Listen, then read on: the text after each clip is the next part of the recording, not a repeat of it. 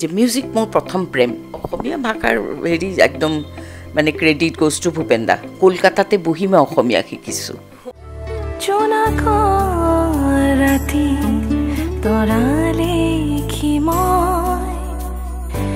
জোনলে চাই থাকোঁতে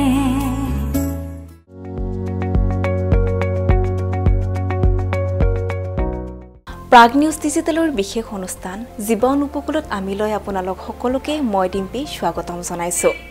মই এতিয়া উপস্থিত আছোঁ নিজৰা পাৰত আৰু মোৰ সৈতে উপস্থিত আছে এগৰাকী বিশিষ্ট কণ্ঠশিল্পী যিগৰাকী কণ্ঠশিল্পীৰ জীৱন অতি ব্যতিক্ৰম। কিয়নো সাধাৰণতে যিটো বাটত দলিচা পাৰি থোৱা থাকে তেওঁৰ বাটত আছিল কেৱল গাইড। জীৱনৰ প্ৰতিটো মুহূৰ্তত তেওঁ গাইডৰ ওপৰত খোজ দিছিল আৰু সেয়া আছিল ঊনৈছশ ঊনসত্তৰ চন।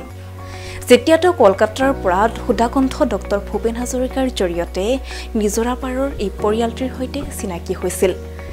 সংগীতৰ জৰিয়তে চিনাকি হৈছিল জয়ন্ত হাজৰিকাৰ সৈতে। আৰু তেওঁৰ সৈতে বিবাহপাশতাবদ্ধ হৈ কলিকতা এৰি এটা সম্ভ্ৰান্ত বাঙালী সম্প্ৰদায় এৰি অসমৰ নিজৰাপাৰৰ এটা বিশেষ পৰিয়াল হাজৰিকা পৰিয়াললৈ বোৱাৰী হৈ আহিল। আপোনালোকে নিশ্চয় গম পাইছে মই কাৰ কথা কৈছোঁ। হয়। সেয়া অইন কোনো নহয় বংগৰ জীয়াৰী অসমৰ বোৱাৰী মণিষা হাজৰিকা। হয় বাইদেউ প্ৰথমে মই আপোনাক এই অনুষ্ঠানটিলৈ স্বাগতম জনাইছোঁ। ময়ো তোমালোকৰ জৰিয়তে ডিম্পী তোমাৰ লগত এই নতুন অনুষ্ঠানটিৰ বাবে মোৰ অভিনন্দন জনালোঁ। আৰু কোৱা কি প্ৰশ্ন আছে তোমাৰ? প্ৰশ্ন বুলি বিশেষ নাই কিন্তু জানিব আমি বিচাৰিছোঁ বহুখিনি কথাই। হয়তো এইখিনি চমু সময় কম সময়ত আমি জানিব বিচাৰিম প্ৰথমে আপোনাৰ পৰা। আপুনি বহুত কম বয়সত বিয়া হৈ আহিছিলে। ঊনৈছ বছৰত আপুনি বিয়া হৈ আহিছিলে আৰু আপুনি ভৰ যৌৱনত আপুনি আপোনাৰ স্বামীক হেৰুৱাইছিল। ঊনৈছশ সাতসত্তৰ চনত আপুনি স্বামীক হেৰুৱাইছিল যিটো সি ভৰ যৌৱনত এটি শিশু কোলাত লৈ আপুনি জীৱনটো কেনেদৰে আগবাঢ়ি গৈছিল? আচলতে তুমি ঠিকেই কৈছা। কাৰণ একদম সহজ নাছিল। যদিও বা ধৰা মানে ঘৰৰ সকলোৱে আছিলে মুৰব্বীসকল বিশেষকৈ ভূপেন দা। কিন্তু ব্যক্তিগতভাৱে মই তোমাক কওঁ যে মোৰ জীৱনত মোৰ মা আৰু দেউতাৰ যথেষ্ট অৰিহণা আছিলে। কাৰণ যেতিয়া সাতসত্তৰ চনত জয়ন্ত হাজৰিকা ঢুকাইছিলে এই সাতসত্তৰ চনতেই মোৰ দেউতাই ৰিটায়াৰ কৰিছিলে চাকৰিৰ পৰা। টাটা কোম্পানীত তেখেত কৰ্মৰত আছিলে ৰিটায়াৰ কৰিছিলে। গতিকে সেই সময়ছোৱা এনেকুৱা হ'ল যে মই মোক কৈ থাকে মোৰ মাহঁতৰ ঘৰৰ পৰা সকলোৱে কলকাতাত গৈ পেলাই ছেটেল কৰিব লাগে মাহঁতৰ লগত। কিন্তু মোৰ আকৌ পণ হ'ল বেলেগ। মই থাকিম ইয়াতে। জয়ন্ত হাজৰিকাৰ সৃষ্টিখিনি আধৰুৱা সৃষ্টিখিনি মই কেনেকৈ সংৰক্ষণ কৰিব পাৰোঁ কেনেকৈ কেনে তাৰ প্ৰচাৰ কৰিম প্ৰসাৰ কৰিম।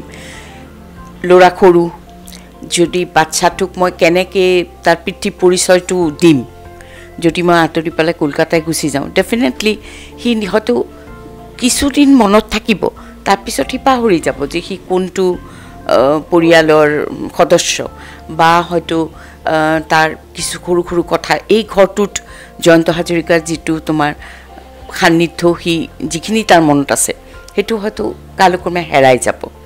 এইবোৰ সকলো কথা কৈ পেলাই মই নাযাওঁ। তো সেইখিনি সময়ত মানে এটা দ্বন্দ্ব সাংঘাতিক দ্বন্দ্বৰ মাজত আছিলোঁ। কিন্তু মই খুব সৰুৰে পৰা মই খুব ষ্ট্ৰং বুলিয়ে ক'ম নিজকে চাগে। মই তেতিয়াই কিন্তু ঠিক কৰি ল'লোঁ যে মই নাযাওঁ মই ইয়াতেই থাকিম। তে যদি মই ইয়াতেই থাকিম তেতিয়া গাৰ্জেন কোন? কাৰণ ভূপেন দা ব্যস্ত ঘূৰি ফুৰে নহয় জানো? সকলোৱে বিয়া বাৰু হোৱা বৰজনা কোৱা যে শাহুৰসকল নিজে নিজে ছেটেলড তো এতিয়া মইতো সেই ছয় বছৰীয়া বাচ্ছাটোক লৈ পেলাই অকলে থাকিব লাগিব। তেতিয়া মা দেউতাহঁতে ডিচিশ্যন ল'লে যে নহয় দেউতা মোৰ লগতে থাকিব। অৱসৰ জীৱনত তেতিয়া দেউতা। কিন্তু মই সেইখিনি সময়ত ভাবোঁ যে ধৰা বৃদ্ধ অৱস্থাত বৃদ্ধ বা ধৰা পৌৰ অৱস্থাত ধৰা এনেকুৱা হয় ন এইটো সময়তে যে এটা সংগী লাগে নহয়? ঠিক সেই সময়ছোৱা মোৰ মাৰ দেউতা কিন্তু বেলেগে বেলেগে থাকিলে। দেউতাই মোৰ লগত থাকিলে এজ এ গাৰ্জেন ৰাজাক চোৱা মেলা তাক ডাঙৰ কৰা দেউতাৰ অৰিহণা সাংঘাতিক পঢ়োৱা শুনোৱা। আৰু মা আকৌ মোৰ দাদা মানে বিৰাট মাতৃভক্ত ল'ৰা। সি মাকক নেৰে মা থাকিবলৈ গ'ল লগতে। তাত থাকিলে। তে মাজে মাজে অহা যোৱা হয় মাও আহে বা দেউতা যায় তেনেকুৱা আৰু। কিন্তু একদম ধৰা ময়ূখ মেট্ৰিকলৈকে দেউতা কনষ্টেণ্ট অসমতে মোৰ লগত থাকিলে। দেই তো সেইকাৰণে মই কওঁ যে সাংঘাতিক এটা ডাঙৰ এটা অৰিহণা বুলি ক'ম। তাৰ বাহিৰে ভূপেন দা আছিলে বটবৃক্ষৰ দৰে বুলি ক'ম আৰু। ছাজেশ্যন দিয়া কেনেকৈ মই চলিম কি কথা? প্ৰশ্ন আহিলে আৰ্থিক। মই কেনেকৈ চলিম? এতিয়া চলাৰ কথাটো দেউতাই ক'লে ধৰা দেউতাৰ যিখিনি ধৰা টকা পইচাৰ হেৰি পেঞ্চন বা দেউতাই বাৰু মোৰ লগতে খৰচ কৰিলে। সেইটোতো এনাফ নহয়। ল'ৰাৰ পঢ়াৰ কথা আছে। ময়ো এটা ধৰা কেপেবল হৈ অৱস্থাত থাকি পেলাই মই যিটো একো নকৰোঁ সেইটো মই মেণ্টেল হেৰিটোত উইক কৰি পেলাব। গতিকে চবেই এনেকৈ ডিচিশ্যন লৈ পেলাই ভূপেন দা হিতেশ্বৰ শইকীয়া তেতিয়া আছিলে আমাৰ মুখ্যমন্ত্ৰী। তেখেতক ক'লে এটা মিঠুক এটা হেৰি কৰিব লাগে। যাতে তাতে যাতে সি স্বাৱলম্বী হৈ পেলাই চলিব। তেতিয়া তেখেতে কৈছিলে যে মই মনীষাক চাকৰি এটা দিম। তেতিয়া ভূপেন দা ক'লে বাচ্ছাটো সৰু এতিয়াতো বাচ্ছাটোক চাবলৈ হ'লেতো চাকৰি কৰিলে কাত তাত থৈ যাব। গতিকে মই যদিওবা দেউতা আছে হ'লেও তাৰ যিটো কয় আৰু তাক মানে সকলো পঢ়া শুনা স্কুলত অনা নিয়া চবটো আৰু অকলে দেউতাৰ ওপৰত মই দিব নোৱাৰোঁ। তেতিয়া ক'লে বোলে যে হেৰি দেউতা থাকি গ'ল, ঠিকে আছে। তে ভূপেন দা নিজে ক'লে যে চাকৰি নালাগে, কাৰণ তাই বাচ্ছাটো কেনেকৈ চাব? সেইখিনি কথা কওঁতে তেখেতে এটা ফেমিলি পেঞ্চনৰ কথা ক'লে।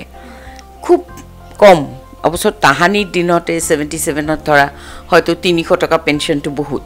কিন্তু ইণ্টাৰেষ্টিং কথা হ'ল যে তেতিয়া ফেমিলি পেঞ্চন নাই। বিচৰা হ'ল ফেমিলি পেঞ্চন দিব পাৰি। আজিকালি উইড'বিলাকৰ ফেমিলি পেঞ্চন দিয়ে। মই আজি অলপ দিন আগতে পেঞ্চন নিৰ্বাচনীৰ সদস্য হৈছিলোঁ গভমেণ্টৰ যি নহওক তেতিয়া মই গম পাইছোঁ যে কিছুমান কিমান ফৰ্মেলিটি থাকে কিন্তু তেতিয়াতো নাই। কিন্তু হ'ল কি এই এডুকেশ্যন ডিপাৰ্টমেণ্টৰ থ্ৰুৰে এটা মোটামুটি এটা ক্ৰিয়েট কৰা হ'ল মোৰ পেঞ্চনটো তেনেকৈ মোক পেঞ্চন দিলে গভমেণ্টে কিন্তু সেয়াই এনাফ নহয়। তেতিয়া মই জয়ন্ত হাজৰিকা জীয়াই থকাৰ পৰাই এই সৰুতে ওচৰতে এটা তোমাৰ মন্তেশ্বৰ স্কুল এখনত চাকৰি কৰিছিলোঁ। সেইখিনি সময়তে সেই চাকৰিটো অলপ চখৰ নিচিনাও আছিলে। স্কুলত পঢ়াইছিলোঁ সৰু সৰু ল'ৰা ছোৱালীক তে পঢ়াইছিলোঁ যদি সেই স্কুলৰ চাকৰিটো আছে তাতে মই এটা তিনিশ টকা দৰমহা পাওঁ। আৰু মোৰ তিনিশ টকা এটা পেঞ্চন হ'ল আঠশ টকা ছশ টকা হ'ল। সেইটো এনাফ নকৰে মই কৈ কৈ গ'লে স্কুললৈ ল'ৰা ছোৱালী আহে মই টিউশ্যন লওঁ ৰাতিপুৱা ইয়াতে গধূলিও টিউশ্যন লওঁ। তেনেকৈ তেনেকৈ ধৰা এটা হাজাৰ টকা আঠশ টকা হাজাৰ টকা মোৰ ইনকাম হয়। তাহানি দিনত হয়তো সেইখিনি মানে ভালকেই মই চলিব পাৰিছিলোঁ বুলি ভাবোঁ। কষ্ট হৈছে ডেফিনেটলি কষ্ট হৈছে।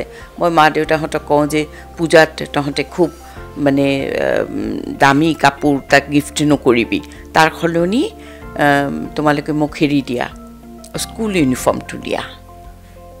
সেই স্কুল ইউনিফৰ্মটো মোৰ কামত লাগিব। তাক মই ভালকৈ স্কুলত পঠাব পাৰিম। তো সেনেকুৱা খুব প্ৰেক্টিকেল কথাবিলাক সমস্যাবিলাকক মানে আহি পৰিলোঁ আৰু। সেইখিনি কৰাৰ পিছত আহিল জয়ন্ত হাজৰিকাৰ সপোন। জয়ন্ত হাজৰিকা বাৰে বাৰে কৈছিলে যে তুমি মইতো ৱেষ্টাৰ্ণ নটেশ্যন লৈ পেলাই কাম কৰোঁ।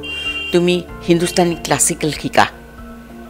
হিন্দুস্তানী ক্লাছিকেল শিকোঁ বুলি পেলাই তেতিয়া ধৰক খুব কম গুৰু আছিলে আমাৰ ইয়াতে। কিন্তু বীৰেণ ফুকন ছাৰহঁতক আমি পাইছোঁ। কিন্তু মানে এনেকুৱা হ'ল যে মই কাৰ ওচৰত শিকিম?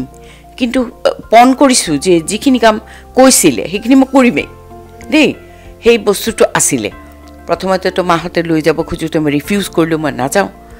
তে দেউতাই মোৰ সপক্ষে থিয় হ'ল আৰু। যে তাইক ডিষ্টাৰ্ব নিদিবা তাই যি কৰিব খুজিছে হেৰি কৰিব দিয়া। তাৰপিছতে তেতিয়া তোমাৰ সেই গান শিকিবলৈ ল'লোঁ। এতিয়া প্ৰয়াত তেখেত ভৱেন্দ্ৰ পাটগিৰি।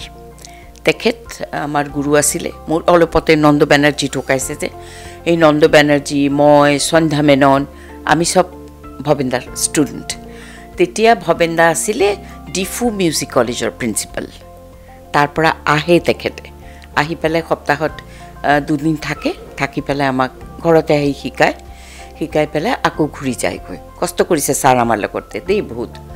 যি নহওক তেনেকৈ তোমাৰ গানো শিকিব লগা হৈছে। ল'ৰাক তোমাৰ চোৱা চিতা কৰি পেলাই পঢ়া শুনা চব কৰাব লগা হৈছে। যদিবা মোৰ দেউতা খুব ছাপৰ্টত আছিলে ৰাজাৰ পঢ়া শুনা তোমাৰ। আৰু ইনকাম চ'ৰ্চটো তেতিয়া বন্ধু বান্ধৱ চাৰিওফালৰ পৰা চবেই ক'লে যে তই গান নাগাও কেলে। এনেকুৱা হ'ল সেইটো হয়তো প্ৰশ্ন নাহিলেহেঁতেন। তাৰমানে কি হ'ল ছেভেণ্টি ছেভেনত তোমাৰ আমি যেতিয়া সুৰ বাহিনী কৰিছিলে ছেভেণ্টি ছিক্সত জয়ন্ত হাজৰিকা তেতিয়া মই ট্ৰাকত সম্পূৰ্ণভাৱে সহযোগিতা কৰিছোঁ মই গান গাইছোঁ তাৰপিছত কি হ'ল ছেভেণ্টি ছেভেনত মায়ে মানে খুব ৰিকুৱেষ্ট কৰিছিলে যে ৰাণা আমাৰ মেয়েটাকে দিয়ে একটা গান গাওয়া না। জানা চাগে তুমি যে মই পশ্চিমবাংলাৰ ছোৱালী, অঁ বংগৰ ছোৱালী। কিন্তু তেতিয়া মানে এটা ৰেকৰ্ড কৰালে বুজিছা সেইটো ছেভেণ্টি ছেভেনৰ জানুৱাৰীৰ এক তাৰিখে আমি ৰেকৰ্ড কৰিছিলোঁ, এই গানটো ডুৱেট আছিলে। তো মই কওঁ মোৰ সৌভাগ্যই ক'ম নে দুৰ্ভাগ্যই ক'ম এটাই ডুৱেট গাবলৈ পালোঁ জয়ন্ত হাজৰিকাৰ লগত। বহাগ হয় যদি ফুলৰে হাঁহি মন কিয় ভৰা নাই? দেই। অকণমান গুণগুণাই দিব নেকি? মই গুণগুণাই দিম বাৰু কিন্তু মোৰ মাতৰ কণ্ডিশ্যন বৰ ভাল নহয় ডিম্পী আজি। আজি কিছুদিনৰ পৰা অকণমান ৱেডাৰৰ কাৰণে চাগে মাতটো বহি আছে। এনেকুৱা আছিলে গানটো তোমাৰ? উম, বহাগ হয় যদি। বহাগ যদি ফুলৰে হাঁহি মন কিয় ভৰা নাই। তোমাৰ মাতে বিহুৰে বাহিছি কৰে ৰাইজা। ফুলৰে হাঁহি মন কিয় ভৰা নাই। তোমাৰ মাত দেখোঁ বিহুৰে বাঁহী শীত কৰে ৰাই যায় এনেকুৱা এটা ধৰণৰ আছিলে দেই আচ্ছা যি নহওক তাৰপিছত কি হ'ল? গান গালোঁ ৰেকৰ্ডিং হৈ গ'ল কলকাতাত। আহি পেলাই আমি হেৰি কৰিলোঁ ইয়াতে ৰেকৰ্ড ওলালে। এতিয়া খুব মানে ছেটিছফাইড আৰু। এতিয়াৰ পৰা তুমি গাব পাৰিবা। গুচি গ'ল তোমাৰ থিয়েটাৰৰ মিউজিক কৰিব লখিমী থিয়েটাৰ বুলি আছিলে ভ্ৰাম্যমান থিয়েটাৰ লখিমী থিয়েটাৰৰ মিউজিক কৰি আছিলে জয়ন্ত হাজৰিকা। তেতিয়া তোমাৰ তাতে কিছুমান গান সুৰ কৰিলে বাইদেউ গৈছিলে লগতে। গোৱালপাৰাত। কেম্পত বহি পেলাই গানবিলাক হৈছিলে। তো নিৰ্মপ বৰদলৈ বাইদেউ জয়ন্ত হাজৰিকা চব গৈ পেলাই তাতে শেষৰ একদম শেষৰ সুৰ কৰা সোতৰটি গান আছিলে দেই ছেভেণ্টিনটা তাৰপিছত যেতিয়া ঘূৰি আহিছে আহি পেলাই কৈছে এটা বৰ ধুনীয়া গান হৈছে এইটো মই লাষ্ট সুৰ কৰি আহিছোঁ বুজিছা সিদিনাখন। কৈছোঁ কি গান? তে গানটো মোক কৈছে ফিমেল চং এটা তুমি গাব পাৰিবা। সেইটো তোমাৰ কেনেকুৱা আছিলে জানা? সেইটো মই কিন্তু এওঁ ঢুকোৱাৰ পিছত প্ৰথম ৰেকৰ্ড কৰিছোঁ আকৌ। H M V his master ভইচৰ বাইদেউ লিখিছিলোঁ ড্ৰামা ভ্ৰাম্যমান থিয়েটাৰৰ গান আৰু। হয়তো তেনেকৈ মিলি গ'ল কিবা এটা। যাৰ কাৰণে বাইদেউ পিছত কৈছিলে যে এনেকুৱা গানটো মই তোৰ কাৰণে লিখা নাছিলোঁ। তই যে গালি সেই গানটো গাব লগা হ'ল তই বোলে। কিয়নো ক'লে সেইটো গান মোৰ এতিয়াও সাঁতৰ হৈ থাকে। যে তুমিতো গাব পাৰিবা এইটো ফিমেল চং এনেকুৱা আছিলে তোমাৰ।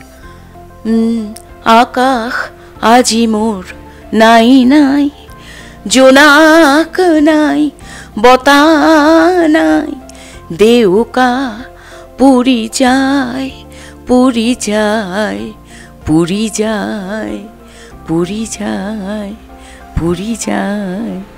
এনেকুৱা শব্দবিলাক হৈছিলে, দুটি বিহগ বহিছিলোঁ সপোন দেখিছিলোঁ, এনেকুৱা শব্দবিলাক আৰু, বুজিছানে কিন্তু সেইটো গান পিছত মই ৰেকৰ্ড কৰিলোঁ আৰু।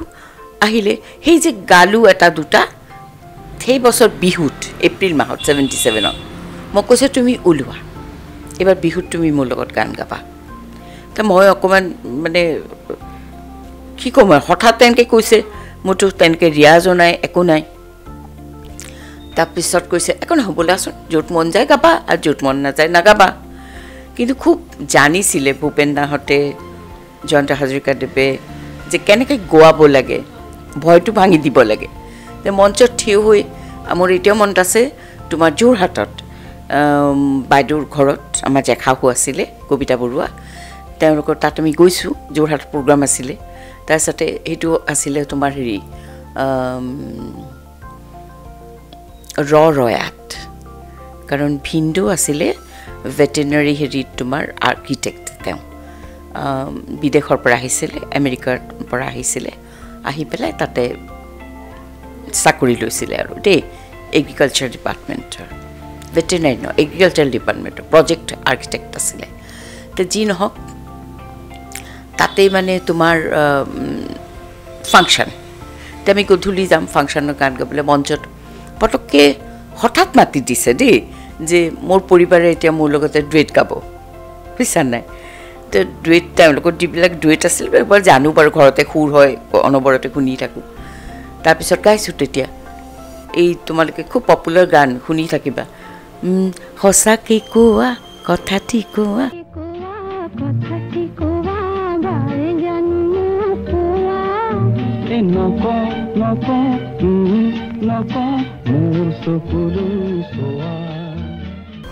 ভাল জানো মোক পোৱা। সেই নকওঁ নকওঁ নকওঁ নিজক সুধি চোৱা। এনেকুৱা ধৰণৰ গানবিলাক ডুৱেট মাতি দিছে গাইছোঁ। গাই তাই ওলোৱাৰ পিছতে মই কৈছোঁ তুমি কিয় এনেকৈ হঠাৎকৈ মোক মাতি দিলে কৈছে নহয় নাৰ্ভাছ হ'বা। দেই সেইটো সেইটো বস্তু মই ভূপেন দাকো দেখিছিলোঁ। যেতিয়া বাৰ বছৰ ভূপেন দাৰ মই ৰেকৰ্ডিঙত গৈছিলোঁ আগৰ পৰা একো নিশিকায়। একদম ষ্টুডিঅ'ত গৈছে এক লাইন শিকায় এক লাইন মই গাওঁ। এনেকুৱা। এতিয়া ভূপেন দাক সুধোঁ তই কিয় না আগতে মই নিশিকালি ঘৰতে? বুলি। তেতিয়া ভূপেন দা কয় যে নাই নাই নাৰ্ভাছ হবি। তাৰমানে এইটো মানে তেওঁলোকৰ ষ্টাইল চাগে শিকোৱাৰ নাৰ্ভাছ হবি। ঠিকে গাইছ ভাল গাইছ। সেইটো তোমাৰ গাইছিলোঁ ব্ৰহ্মপুত্ৰ দুটিপাত দলঙে লগ লগালে চন্দ্ৰৰ বুকুলৈ মানুহ যাবলৈ ওলালে।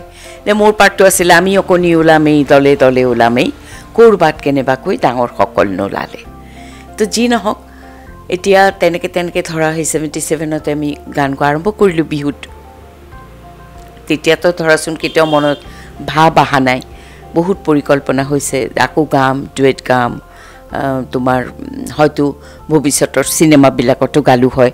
তাৰ আগতেতো তেওঁ কলকাতাত তোমাৰ নিৰ্মলা মিশ্ৰ তেখেতৰ মেক্সিমাম গান গাইছে এটা এখন চিনেমা তোমাৰ মালবিকা বৰাই গাইছিলে পিতাই থিয় বুলি পেলাই এইটো তোমাৰ হেৰি। আমাৰ উপেন কাকতিৰ মিউজিক আছিলে ফাগুনী চিনেমাখনৰ তে বহুত পৰিকল্পনা থাকিলে ভাঙিলে আৰু পৰিকল্পনাবিলাক হেৰি নহ আধৰুৱা হৈ থাকিলে আৰু। তাৰপিছত আহি পৰিলে এতিয়া গানৰ কথা। তেতিয়া বন্ধু বান্ধৱ সকলোৱে ক'লে তুমিতো গাইছিলা আৰম্ভ কৰিছিলা তুমি গোৱা আৰম্ভ কৰা গোৱা। তাৰপিছত মোৰ ভাগিন আছিলে ঋতুপৰ্ণ ঋতুপৰ্ণ খুব ক'লে যে চা একেটা ঘৰৰ পৰা ভূপেন মামা ওলাই যাব। কণ মামা মানে চমৰ হাজৰিকা ওলাই যাব বিহুত। মামীটো খুব বেয়া লাগিব। একো নহয় মই মামীৰ লগত থাকিম দে। তে সি মোৰ লগতে হাৰমনিয়াম বজায় আৰু কেতিয়াবা কেতিয়াবা এটা দুটা ধৰা ডুৱেটো গায় আৰু সিও গায় ময়ো গাওঁ এনেকৈ কৰি। আৰম্ভ কৰিলোঁ আৰু প্ৰগ্ৰাম কৰা। প্ৰগ্ৰাম কৰাৰ আৰম্ভ কৰাৰ কাৰণে এটা সুবিধা হ'ল অকণমান টকা পইচা আহিলে।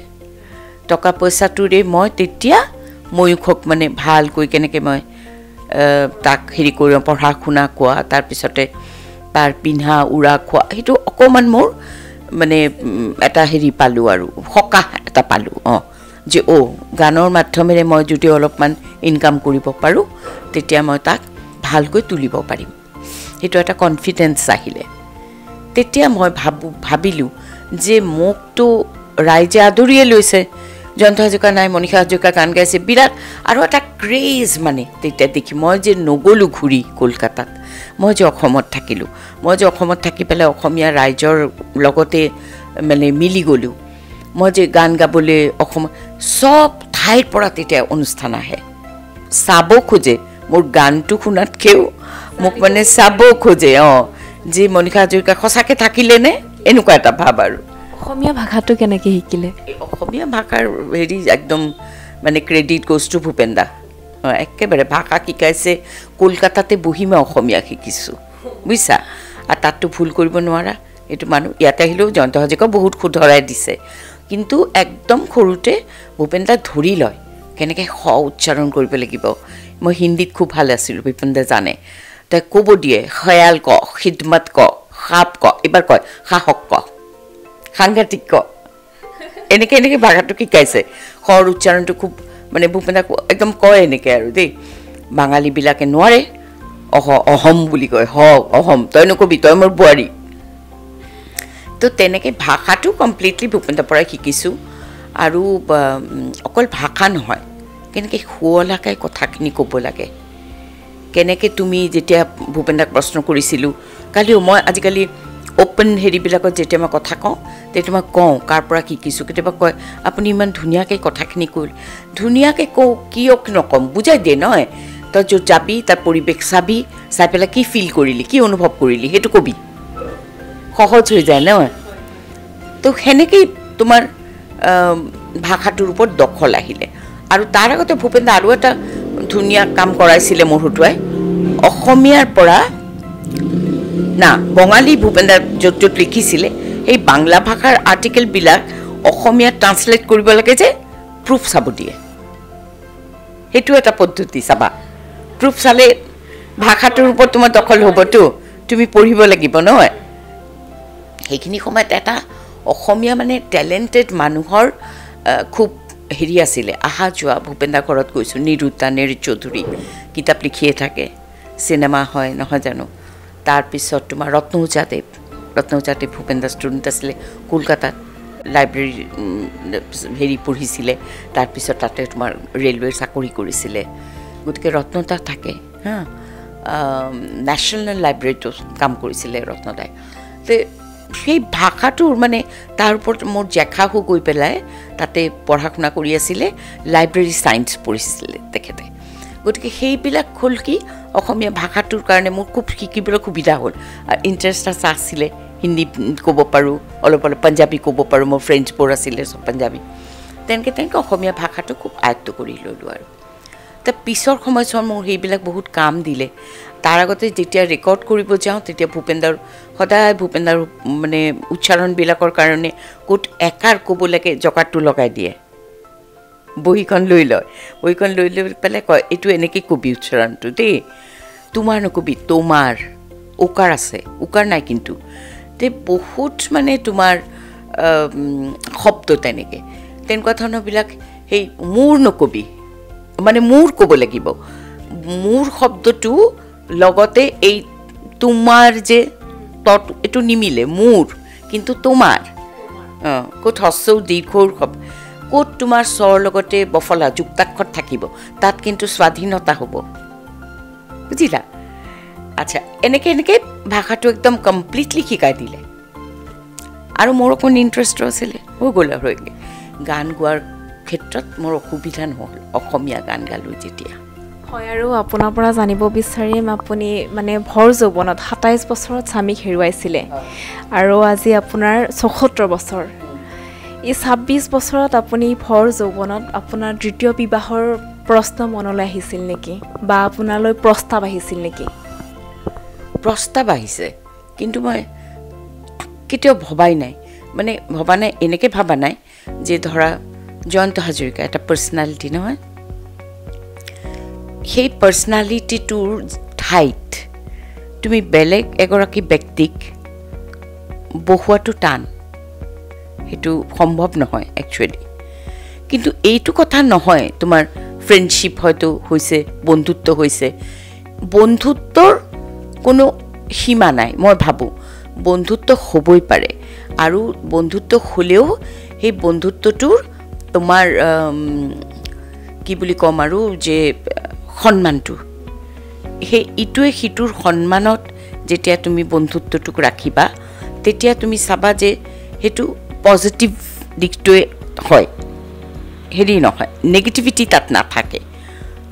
হয়তো একাকিত্বটোত কেতিয়াবা এনেকুৱা লাগিছে অঁ এঘণ্টা মই কাৰোবাৰ লগত কথা পাতি ভাল লাগিছে মোৰ। সেইটো মই একচেপ্ট কৰিছিলোঁ। কিন্তু যেতিয়া মাহঁতে বিয়াৰ কাৰণে জোৰ দিলে ধৰা কলকাতাৰ পৰা ল'ৰা লৈ আহে মানে এনেকুৱাও দিন গৈছে লৈ আহে কি হ'ল? হঠাৎ এনেকুৱা অদ্ভুত দেখিছোঁ বাঙালী ল'ৰা ধুনীয়া চুনীয়া হেণ্ডচাম ল'ৰা। আহিছে। নাই চিনাকি কৰাই দিবলৈ আনিছোঁ বুলি কয়। মোৰ খুৰী এগৰাকী আছিলে বহুত ধুনীয়া মমতা নামটো মমতা খুৰী। তো একেলগে ফুৰিব আহে। ফুৰিব আহি পেলাই যেতিয়া না শ্বিলং ফুৰিব আহিছে। আচ্ছা বুজিলোঁ। শ্বিলঙত গ'লোঁ একেলগে ঘূৰিলোঁ পকিলোঁ চব হ'লোঁ। তাৰপিছত যেতিয়া আহি পেলাই মাহঁতে মানে মায়ে খুৰীয়ে বুজি বুজায় আৰু তোৰ ল'ৰাটো কেনেকুৱা লাগিছে? কচোন। ভাল লাগিছে ভালেই খুবেই ভাল। নে তই আকৌ কিয় নাভাব? লাহেকৈ কথাটো উলিয়াই। ভাব। নাভাব মই "হেৰি কথা নেকি এইটো? ৰাজাক সৰু ময়ো সৰু কেনেকৈ হ'ব এইটো? তেতিয়া মায়ে কয় যে নহয় এনেকুৱাওতো ল'ৰা আহিব পাৰে ধৰ ৰাজাক লৈ একচেপ্ট কৰিব।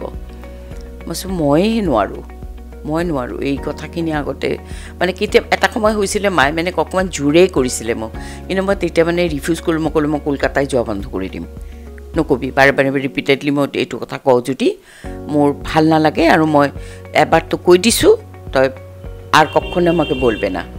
তাহলে আমি কলকাতায় আসব না। তেতিয়া দেউতাই খুব সাপোর্ট দিলে। দেউতা করলে না ও যেটা ভেবেছে ও রান্নার কাজটা করবে সম্পূর্ণ করবে ওকে স্বাধীনতা দাও। ওকে তোমরা কেউ এত প্রেশারাইজ করো না। তো দেউতাৰ তো কথা নাই উম, ঘৰৰ একদম মুৰব্বী মানুহ। তাৰমানে দেউতা ইমান প্ৰিন্সিপালৰ মানুহ আছিলে যে যেতিয়া জয়ন্ত হাজৰিকাৰ লগত মোৰ বিয়াৰ প্ৰস্তাৱ আমাৰ ঘৰৰ পৰা দিলে সুদক্ষিণা বাইদেউৰ হাজবেণ্ড দিলীপ দা কৈ পেলাই দিছিলে তেতিয়া দেউতাই এটাই কথা কৈছিলে যে আমি একবাৰ ছেলেটাৰ সঙ্গে কথা বলবো। কাৰণ দেউতা আকৌ এডুকেশ্যন খুব ভাল পাইছিলে। কিন্তু জয়ন্ত হাজৰিকা গানে জয়ন্ত হাজৰিকাক পৰিস্থিতি তেওঁ খুব পঢ়া শুনা নকৰে মেট্ৰিকত আধা হেৰিৰ পৰা পৰীক্ষা দি আহি ঘৰত বোলে বজায় হাৰমনিয়াম তেনেকুৱা আছিলে কেৰেক্টাৰটো কিন্তু দেউতা কথা পাতি খুব ভাল পালে। যে মানে প্ৰিন্সিপালটো খুব ভাল পাইছিলে। যে এইটো কৰিয়ে মই খাম মই গানেই গাম। আৰু সেইটো মোক খোলাকৈ কৈও দিছিলে যে চোৱা এইটো লৈ পেলাই কোনোদিন মনটো বেয়া নকৰিবা যে মিউজিক মোৰ প্ৰথম প্ৰেম। তাৰপিছত তোমালোক। তাৰপিছত মা আহিব দেউতা আহিব তুমি আহিবা। চব পিছত কিন্তু। মিউজিকটো মোৰ প্ৰথম প্ৰেম বুলি কৈ দিছে। দেই তে গতিকে মোৰ মেণ্টেল প্ৰিপেৰেশ্যনটো সেইটোৱে আছিলে। আৰু যদি ভাবা ভাল পোৱা প্ৰেম তেতিয়াহ'লে কিন্তু সংগীতে আছিলে আমাৰ মাজৰ সেতুটো। সংগীতৰ জৰিয়তে? মই ভাল পাওঁ।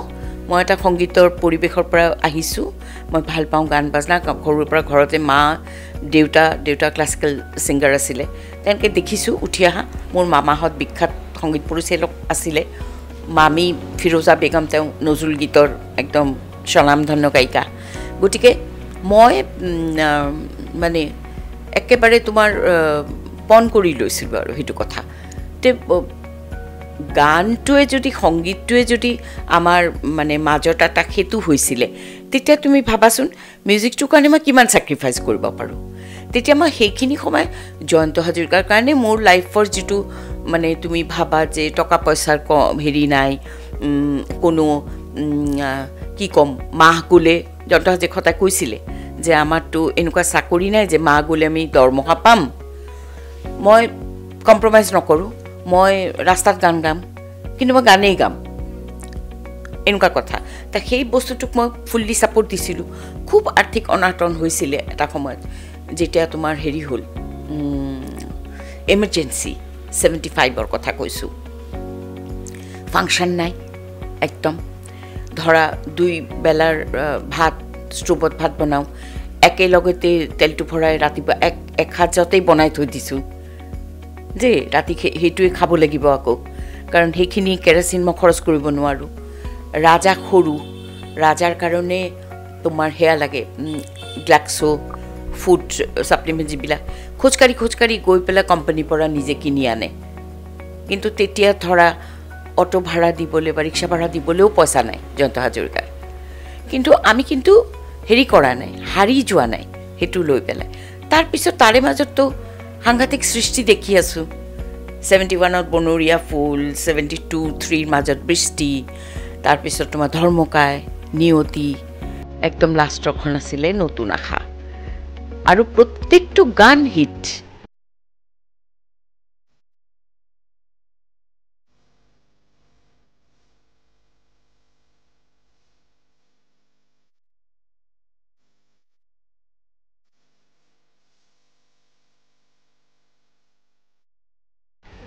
এতিয়াও নতুন হৈ আছে? প্ৰত্যেকটো।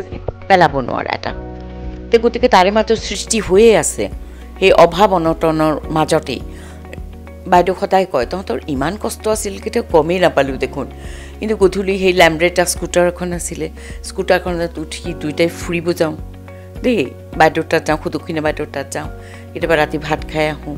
আকৌ ৰাজাক লৈ পেলাই ধৰা স্কুলত তেওঁ মোক থয়। তেতিয়া মই চাকৰি আৰম্ভ কৰিছোঁ স্কুলত থয় থৈ পেলাই ঘৰলৈ আহে।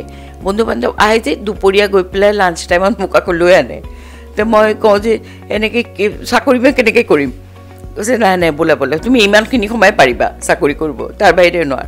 আহি পেলাই দেখিছোঁ হয়তো অতুল বৰদলৈ বহি আছে পুনৰ ফ্ল'ৰ ডিৰেক্টৰ বা ধৰক তেতিয়াৰ গায়ক গায়িকা ৰিদীপ দত্ত জে পিহঁতো আহিছিলে মাজে মাজে চাৰু গোহাঁই এইবিলাক আমাৰ ঘৰত এটা আড্ডা চলি থাকে অনবৰতেই গতিকে তোমাৰ পৰিৱেশটো সেনেকুৱাই আৰু মিউজিক হৈ থাকে ঘৰতে।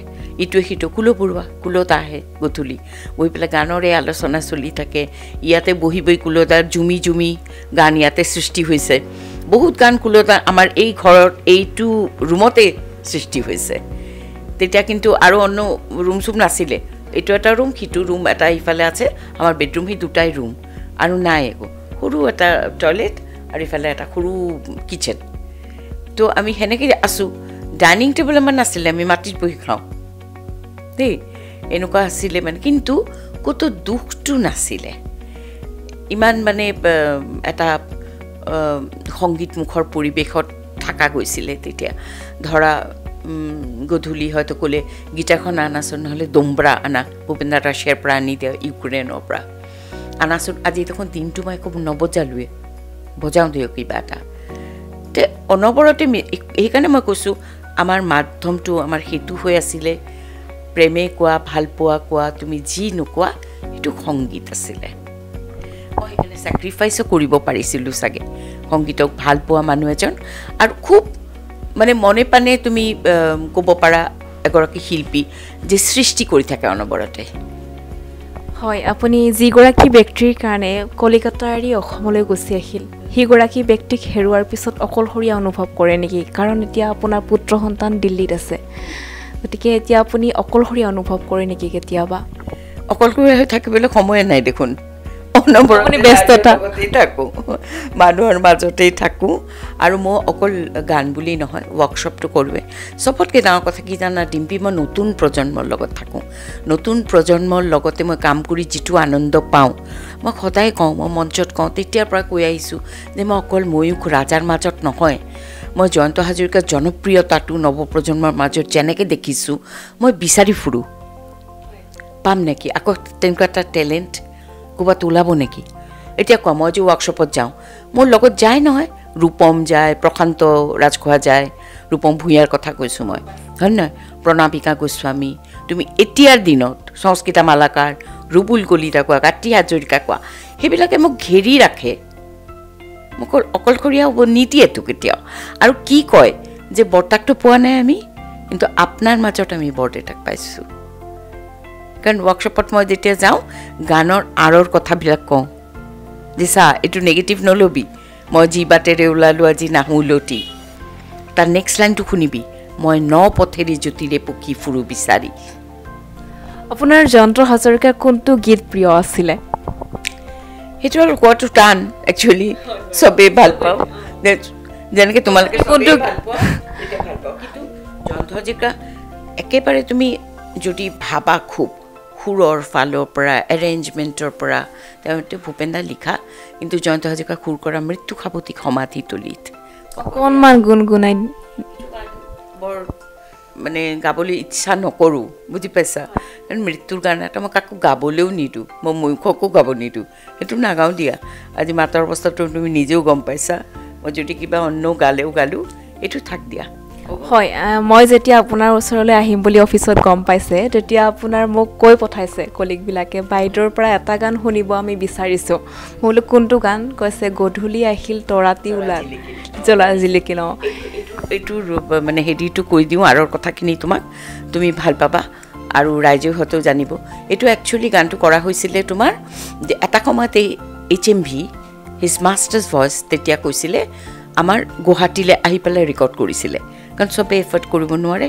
কলকাতাত গৈ পেলাই তোমাৰ গান গোৱা ষ্টুডিঅ' দমদমত জুডিঅ'পা আমাৰ সৌভাগ্য হৈছে তাত বিখ্যাত বিখ্যাত শিল্পীসকল মানে লতা দিদিৰ পৰা বাৰী দিদিৰ পৰা আৰম্ভ কৰি বহুতেই তাতে তোমাৰ ৰেকৰ্ডিং কৰিছে Dumdum H M V studio' Kolkata সেইটো এটা বিখ্যাত ষ্টুডিঅ' আমি সৰুৰে পৰা গৈছোঁ ভূপেন দাহঁতৰ লগত গৈছোঁ জয়ন্ত হাজৰিকা মই গান গাইছোঁ তাতেই গাইছোঁ সেই ষ্টুডিঅ'ত। ময়ূখো গাইছে পিছত এইচ এম বিৰ সেইটো। তাৰপিছত তোমাৰ এতিয়া এইচ এম বিৰ সেই গীতবোৰ গানবোৰ যেতিয়া আমি মানে হেৰি কৰিছোঁ ধৰা আমি কি কি কি প্ৰশ্নত আছিলোঁ? এবাৰ কোৱাচোন কি কিহৰ ওপৰত আমি কথাটো কৈ আছিলোঁ? মই কৈ আছিলোঁ তেওঁৰ প্ৰিয় গানটোৰ কথা সুধিছে। কথা কৈ আছিল অঁ। তেনেকৈ ধৰা বহুত গান মই কলকাতাত বহি শুনিছোঁ এওঁ ইয়াত কৰিছে। বহুত ধুনীয়া ধুনীয়া গান। এটা আছে জিৰি জিৰি যে নিজৰাতে যে। বুজি পাইছা নাই? গধূলি আহিল তৰাতি যি লিখিল। কথাটো কৈ আছিলোঁ তোমাক মই অঁ। তেতিয়া সেই যে কোম্পানীটো যে ইয়াত উঠি আহিলে তেতিয়া ইয়াৰ শিল্পীসকলবিলাক কল- এই লাখটকীয়াতে এক এটা ঘৰ লৈ পেলাই তেওঁলোকে কৰিলে। তেতিয়া আমাৰ কেম্পাছত ভূপেন্দাৰ গান হ'ব জয়ন্ত হাজৰিকা গাব। ৰ'জ বাইদেউ কবিতা বৰুৱাক তেতিয়া ক'লে যে কোম্পানি যে আপনিও গাইতে হবে আপনিও দুটো গান করুন। তা রুনুমি ঠাকুর তাৰপিছত তোমাৰ অনিমা ভট্টাচাৰ্যী এনেকৈ বহুত শিল্পী তেতিয়া গান গাইছে তাতে।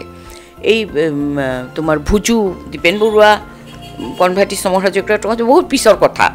তেতিয়াৰ দিনত যিখিনি আছিলে বিউটি শৰ্মা বিউটি শৰ্মা বৰুৱা তেওঁলোকে এই ষ্টুডিঅ'টোত তেতিয়া ৰেকৰ্ড কৰে আৰু। তে ৰ'জ বাইদেউক কোৱা হ'ল আমি ঘৰতে ৰ'জ বাইদেউ বুলি মাতোঁ দেই কবিতাবোৰক ৰ'জ বাইদেউক যেতিয়া ক'লে ৰ'জ বাইদেউ ক'লে আমি মই কি গান গাম?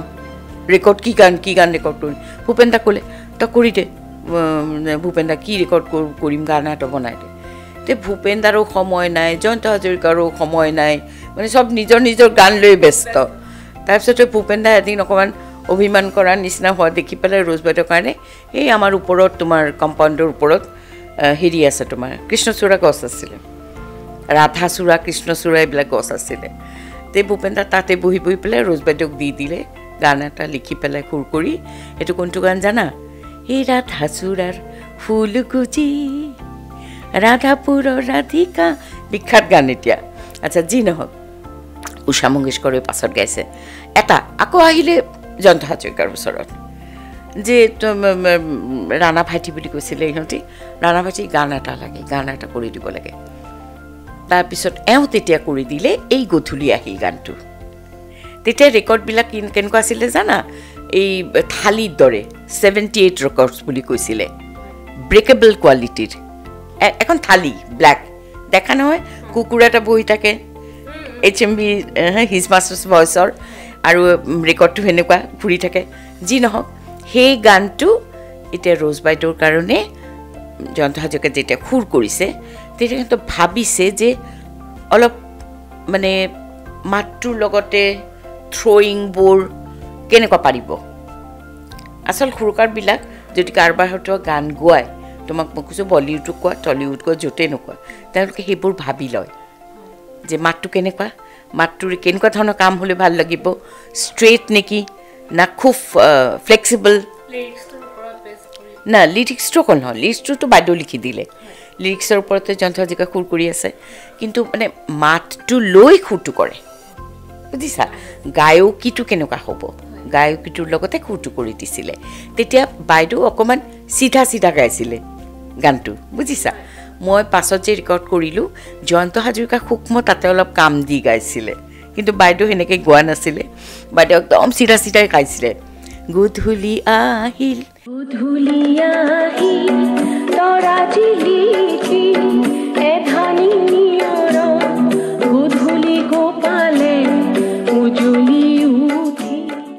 তৰা চিলিকিল এধানি নিয়ৰত গধূলি গোপালে উজলি উঠিল। এনেকুৱা ধৰণৰ আছিলে। কিন্তু মই পিছত যেতিয়া ৰেকৰ্ড কৰিলোঁ বহু বছৰ পিছত দেই যেতিয়া ৰেকৰ্ড কৰিলোঁ তেতিয়া মই জয়ন্ত হাজৰিকাৰ গানটো ৰেডিঅ'ত গোৱাও আছিলে। বহুত শুনিছোঁ শুনি শুনি দেখিছোঁ সূক্ষ্ম সূক্ষ্ম সূক্ষ্ম সূক্ষ্ম কাম। তাতে উম, জোনাকৰে ৰাগী বতাহত বিয়পিল ফুলৰে পাহিতে তোমাৰে তোমাৰে হাঁহিটি দেখা যেন লাগিল। এইবিলাক কাম মোৰ আজি কষ্ট হৈছে গাবলৈ একেবাৰে মাতটো নাই। কিন্তু এই যে কামবিলাক, এইবিলাক দি পেলাই মই গধূলি আহিলটো গালোঁ। তে খুব পপুলাৰ হ'ল সেই গানটো। এতিয়াও সকলোৱে শুনিব খোজে।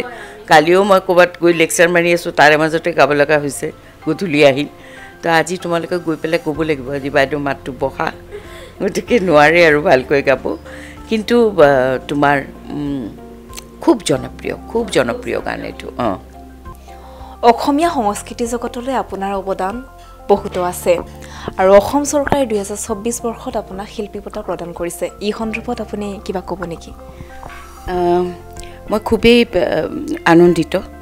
আৰু তেওঁলোকক মই অসম চৰকাৰক মই ধন্যবাদ জনাইছোঁ। আচলতে ডিম্পী নতুন প্ৰজন্মক লৈ পেলাই মই বহু বছৰ ধৰি বহু কাম কৰি আছোঁ। মোৰ প্ৰথম কথা হ'ল দেখিলোঁ যে জনপ্ৰিয়তাটো জয়ন্ত হাজৰিকাত যেনেকুৱা হৈ আছে এতিয়ালৈকে তেতিয়া নতুন প্ৰজন্মই যাতে ক্ষুদ্ৰ ৰূপত জয়ন্ত হাজৰিকাৰ গীতখিনি শিকিব পাৰে। আৰু আগ্ৰহ দেখিছোঁ মই খুব। তাৰ উপৰিও ভূপেন্দাৰ গানৰ ভূপেন্দাৰ গানৰ শিকোৱা অকল নহয় প্ৰচাৰ প্ৰসাৰ এইটো এই নৱপ্ৰজন্মৰ লগতে মোৰ যিটো এটা আত্মিক সম্বন্ধ আছে বুলি মই ভাবোঁ। তাৰ কাৰণে চাগে মই অসমৰ সংস্কৃতিক জগতৰ মাজত নিজকে একাত্মভাৱে মই বিলীন কৰি দিছোঁ। আৰু মই তোমাক আগতেও কৈছোঁ যে মই অকল ময়ূখ নহয় মই নৱপ্ৰজন্মৰ সকলোৰে মাজত জয়ন্ত হাজৰিকাক বিচাৰি ফুৰোঁ। আৰু সেইটো মোৰ এটা সফলতা বুলি মই নিজকে ভাবোঁ যে মই সঁচাকৈ সফল হৈছোঁ। কাৰণ নহ'লে হয়তো মই এনেকুৱা এটা বঁটা লাভ নকৰিলোঁ হয়। আৰু যদি কোৱা যে মই য'ত আছোঁ সেই সংস সাংস্কৃতিক যিটো মঞ্চ মোৰ তাৰ লগতে মই অহৰহ এই প্ৰচেষ্টাটো চলাই আহিছোঁ। মই ৰখি যোৱা নাই আজিলৈকে। আৰু মই সেইকাৰণে এই যে গীতৰ অকল মই ভাবোঁ অকল গানটো শিকোৱাটো কথা নহয় সেই গানৰ যিটো বিশ্লেষণ সেইখিনিও মই তেওঁলোকক নতুনকৈ বুজাই থাকোঁ। আৰু জয়ন্ত হাজৰিকাৰ সৃষ্টিৰাজি আপুনি খুব সুন্দৰকৈ সংৰক্ষণ কৰি ৰাখিছে। আমি আহাৰ লগে লগে যেতিয়া আহিছোঁ ইয়াত আহি বহিব লোৱাতে আপুনি কৈছে এই চকীখন এইখন চকী আপুনি বহি আছে চকী দুখন জয়ন্ত হাজৰিকাই কিনিছিল। তেখেতে কিনা আৰু ইভেন মানে তুমি যে বহি আছা কুশ্যনটোৰ ওপৰত সেইটোৱে কাভাৰটোৱে মই বদলাইছোঁ। কিন্তু কুশ্যন পৰ্যন্ত জয়ন্ত হাজৰিকাই নিজে কিনা। তেনেকুৱা সৰু সৰু বস্তুবিলাক যে তেখ তেখেতে মানে ঘৰটো খুব ভাল পাইছিলে। এই ঘৰৰ ডিজাইনটোও তেনেকৈ এটা সৰু এটা কাঠৰ কোনোবা এটা গিফ্ট দিছিলে এটা ঘৰ। এই তিনিকোণীয়া চালি টিঙৰ ঘৰ। সেইটো চাই চাই পেলাই ঘৰটো বনাইছিলে। আটম টুকাৰিকৈ ৰখাটো সেইকাৰণে মোৰ জীৱনৰ এটা ডাঙৰ এটা আশা। আৰু সেইটো মই কৰি আছোঁ কাৰণ এতিয়াও আহে।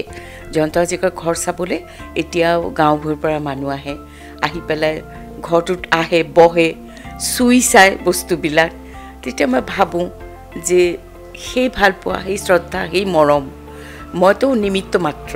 মই কেনেকৈ অসমৰ ৰাইজক এইখিনি মানে জীৱন্ত কৰি ৰাখি পেলাই মই সকলোকে বিলাই দি যাব পাৰোঁ।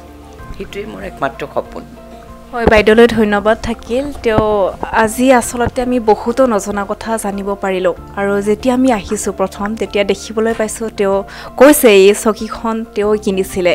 আজিও ইমান সুন্দৰকৈ ৰাখিছে খুব পৰিষ্কাৰ কৰি ৰাখিছে তেওঁ। ইয়াতে গম পোৱা যায় আচলতে প্ৰেম কি ভালপোৱা কি।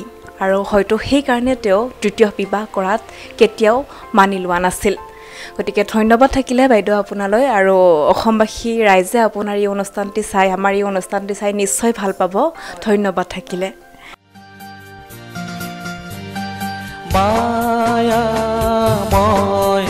ৰূপালী জোনা।